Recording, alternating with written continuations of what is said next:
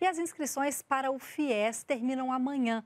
Agora há pouco, pelas redes sociais, o presidente Lula relembrou aos estudantes que o prazo vai até esta sexta-feira. São mais de 67 mil vagas no primeiro semestre de 2023 para estudantes com renda bruta familiar capta de até três salários mínimos. O presidente Lula reafirmou ainda que é com investimento na educação que vamos transformar o Brasil.